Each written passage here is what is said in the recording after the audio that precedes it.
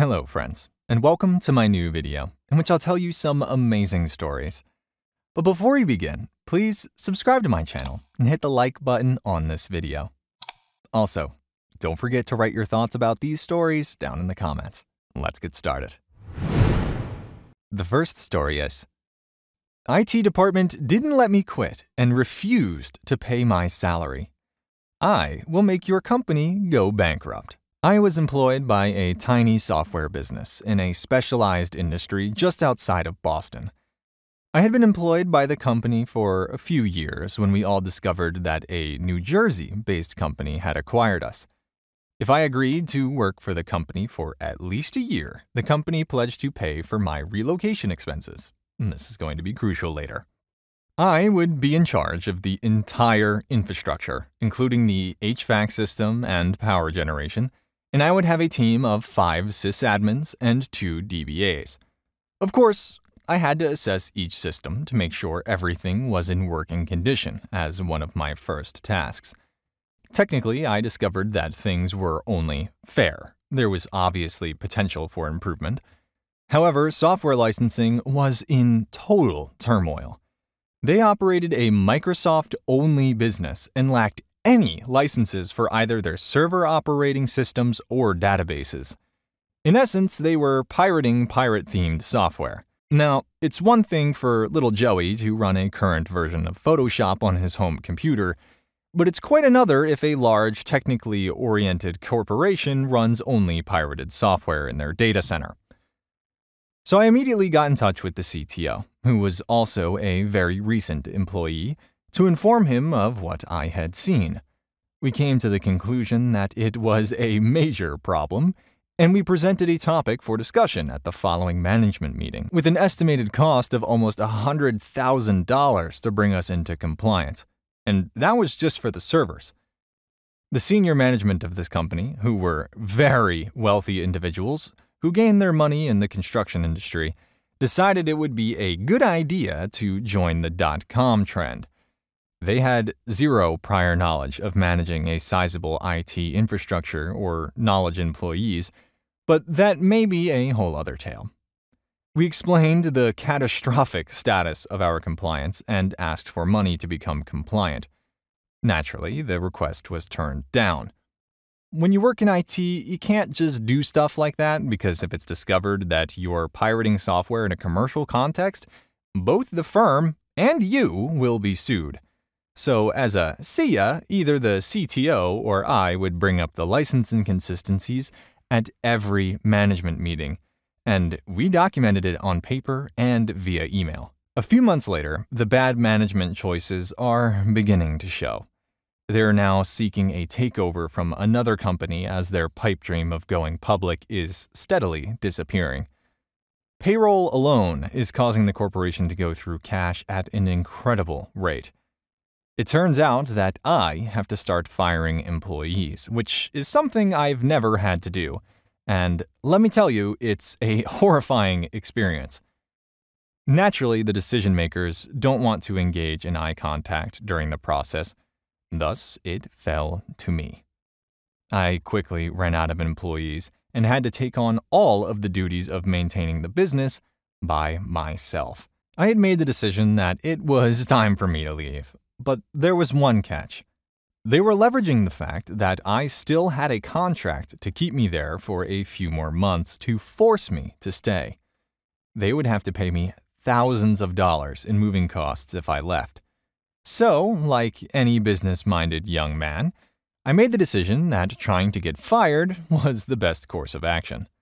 The CTO, with whom I was still very close, was informed of my intention, and since he was also preparing for his departure, gave his approval inadvertently.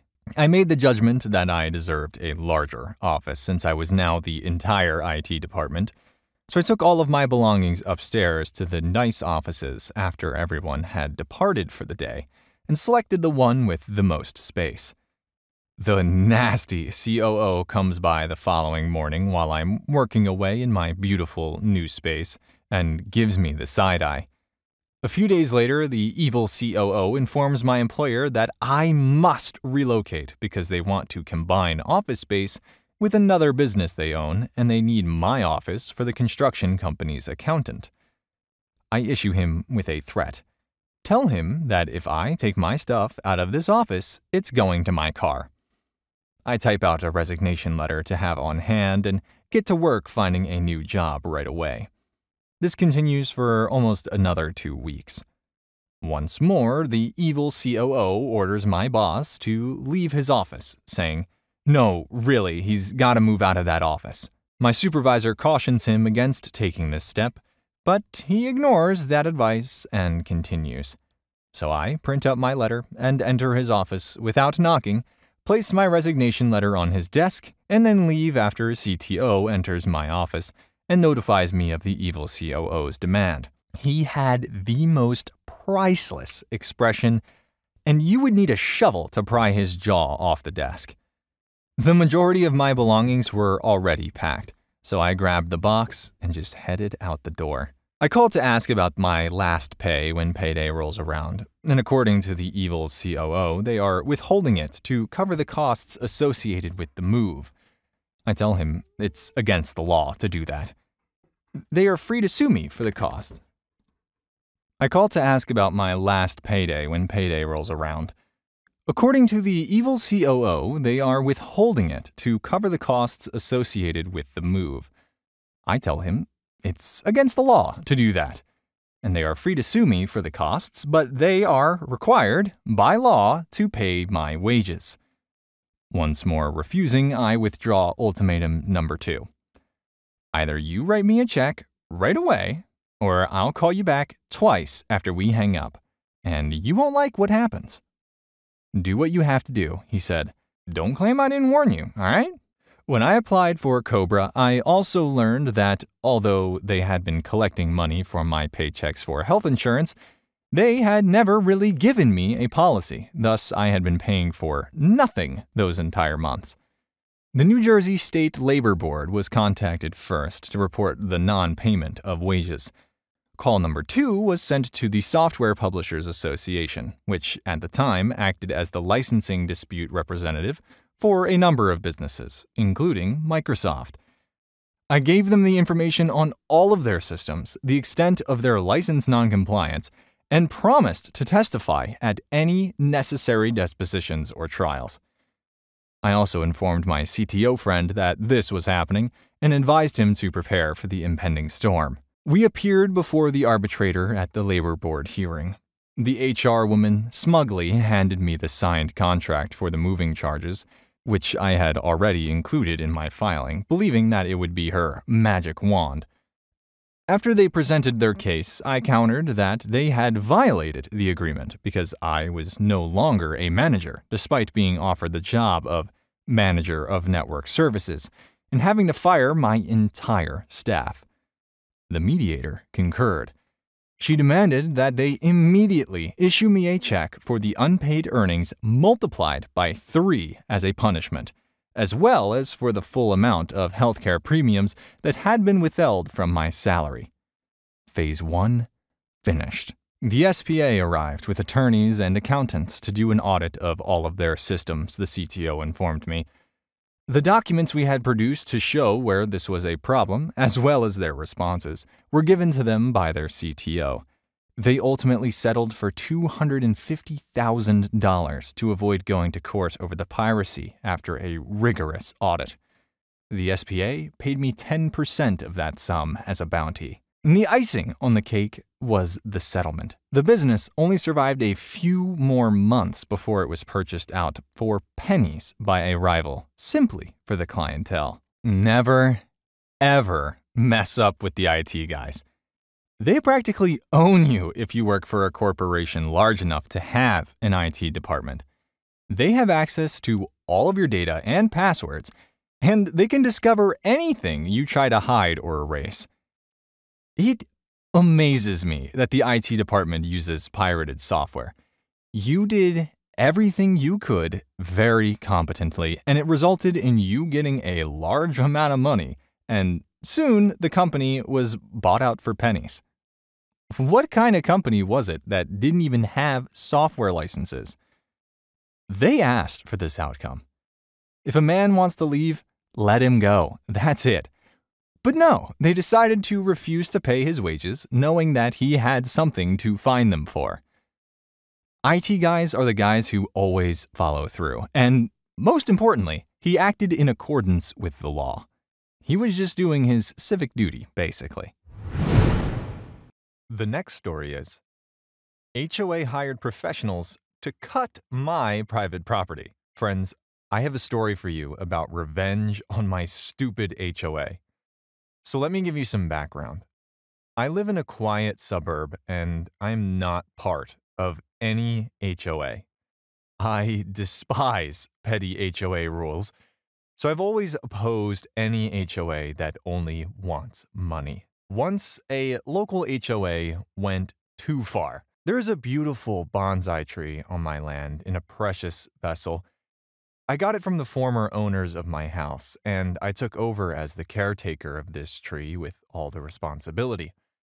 I cherished this tree very much and was constantly looking for the best place for it. I also tried to make sure that this tree provided some benefit, so I sometimes set it up so that it provided shade on the small table that stands next to my swing. It's really cool because you could ride the swing, get a little sweaty, and go sit at the table that's over there in the shade. My kids loved that place. All of that came crashing down when I saw a bunch of guys that hired this HOA tinkering with my tree. A few days later, that tree was cut down, and along with my private property, that precious vessel was destroyed. I couldn't believe it. I ran to that HOA and they said it was a necessary measure because my tree was bothering my neighbors because my kids were always playing there. I decided not to cry about it for a long time, but to take action. I was convinced that I had to teach them a lesson they would not forget. First, I documented everything photos of the damage, timestamps, testimonies from neighbors, and footage from my neighbors' video cameras who were able to capture everything. Then I contacted the competent authorities. Unfortunately, in the place where I live, this is just a formality that is required before the court. My next step was to contact a lawyer and tell my story in a local group on the social network of our city. It was in this last detail that became a nightmare for them because they faced not only a lawsuit, but also a broad negative reaction from our entire city. The backlash led to the immediate dismissal of several senior members of the HOA. But that was not enough. I decided to take this case to the end. The HOA realized the seriousness of the situation and that they would not be able to win, so they did not even spend money on any expensive lawyers. In about a month, I completely won in court and we reached a settlement in my favor. First, the HOA was obliged to pay me in full compensation. Secondly, there was an unofficial requirement that they had to publicly apologize. The HOA paid a rather expensive price for their trespass on my land. The next story is Neighbors' animals walked and took a dump on Granny's property. She prepared a pretty good revenge. A fairly big park with a river in it is located at the end of the street, which is quick, significant information to grasp the area. The street twists almost like a cul-de-sac at this end, except instead of a middle house, there is a path for bicycling and walking into the park. The major road is located at the opposite end of our street, which has about 15 total homes. Here's the story. As a result of all this, my grandparents relocated to our city to reside in the house my grandma grew up in. The region was once thought to be on the outskirts of town when she was a child.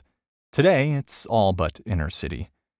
The majority of the families that had owned these houses either sold them and relocated, or their children now reside there. In any case, most people on the block had known our family in some capacity for years and most people try to be good neighbors. One of the four or five homes with new occupants quickly became a source of irritation for my grandmother. They lived across from us in the cul-de-sac. They simply started destroying the property, not because of their attitude or anything else of the sort. They would begin an effort to fix something, only to abandon it and or make it worse. The home was painted in two distinct hues. The carport's awning was severely sagging, and the yard was almost always overgrown and covered in weird trash. Additionally, they requested for bizarre things like running a power connection from our house across the street to power a generator being used in their backyard, which bothered their elderly neighbor, Mrs. Ruth, and made it difficult for them to enjoy their music at night. What? My grandmother was very upset since the house, which used to belong to her best friend, had always been one of the prettiest on the street. But as time went on, stuff began to spiral out of control. They quickly began moving large amounts of trash into the backyard. Again, not a big concern unless there are actual bathtubs and toilets on your property that can be seen from the street. Their house was just in front of our side porch, and it was such an eyesore. Then we saw that they had brought home a few pets three dogs and two cats which they immediately started letting out in the open to roam wherever they pleased. Unfortunately, my city has a significant stray animal problem, and because their pets weren't fixed, the block ended up with an absurd number of animals roaming around after about a year and a half. The strange thing was that instead of trying to donate them or whatever, the family maintained keeping so many of them they regularly had six to seven dogs and eight or nine cats coming and going from their backyard, all of which were collared. And all of these animals have to poop somewhere, of course. There were only two houses in between us heading clockwise, with the bike lane to the park in between those houses. Because they were across from us on the curving street end, and both of those houses had rocks in their front yard rather than grass, on the other hand, our home had grade A lawn with dense, lush, and scattered with rose bushes. It made my grandma quite happy, which is funny. Grandma was becoming quite tired of cleaning animal waste, as you can guess where all of their animals and stray cats and dogs preferred to relieve themselves. The neighbor's pet problem hasn't really been addressed at this point, but everyone on the block with grass in their front yard has been complaining about the animals. When my grandmother finally opened her eyes, she discovered two of their dogs in our backyard, digging in her vegetable patch, and one of their cats was peeing on her windshield. They had dug under our fence during the night. We witnessed them immediately rush into the front door after she chased them off our property, and Grandma lit up. She approaches the front door and shouts, Excuse me! into it and then waits for someone to open it. When the father emerges, they begin conversing. But after a while, it turns into yelling, during which some of the neighbors are also present. While I'm waiting to enjoy this early morning popcorn on the porch, I observe my grandmother detach and begin to make her way back to the house. He reportedly apologized for his animals being on her property but became irate when she pressed him for plans to prevent it from happening again. When she asked if he could keep them inside when no one was home, he answered no, they'd make a mess of my house, and claimed that she was getting upset over just a small amount of poop. He made an attempt to argue that it was unreasonable for her to expect him to keep track of his outdoor animals while he and the other adults living there were at work. Don't worry, says Grandma. She has a plan, she only needs to wait until the weather is appropriate. Two months later, in June or July, since we are in South Texas, there will be no clouds or rain, simply scorching heat of above 95 degrees until dusk.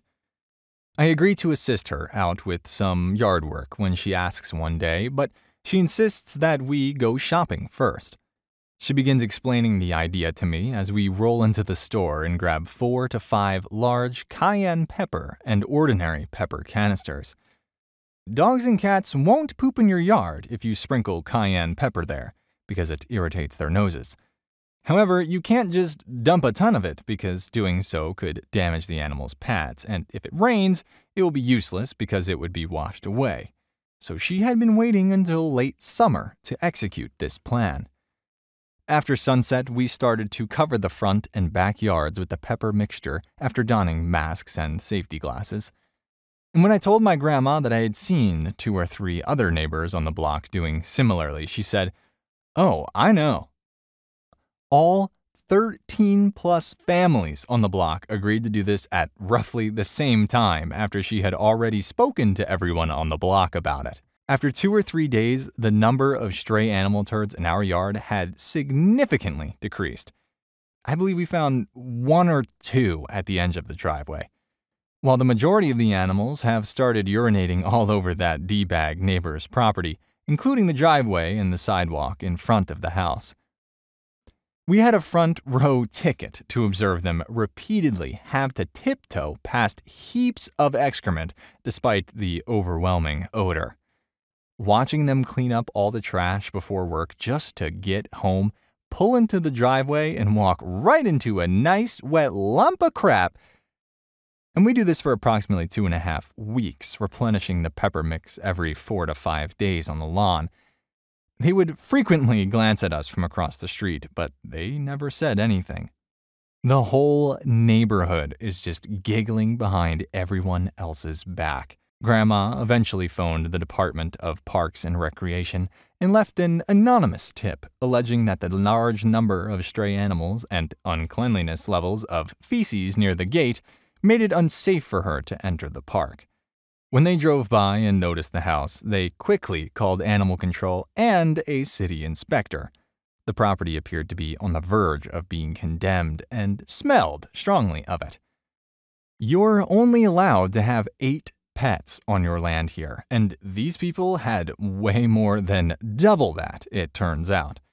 They had to pay a hefty fine, lost all of the animals who were adopted out to no kill shelters, and were caught breaking several building permit laws. They eventually relocated. A new family purchased the home, and they are now in every manner excellent neighbors.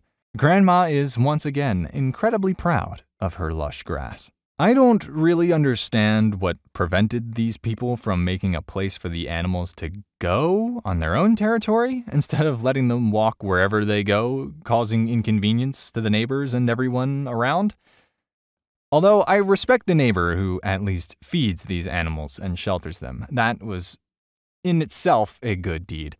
But if you already take responsibility for these animals, then go all the way, because there would be people who would harm these animals because they were annoyed by the destruction of their property, rightfully so. And it's good that they're okay and have been taken to a shelter where they will be cared for and are not going to be such a nuisance to everyone around. Don't mess with the grannies. They've seen it all and they know how to run a business. Thanks for watching. Just a reminder subscribe, like, and comment. See you soon.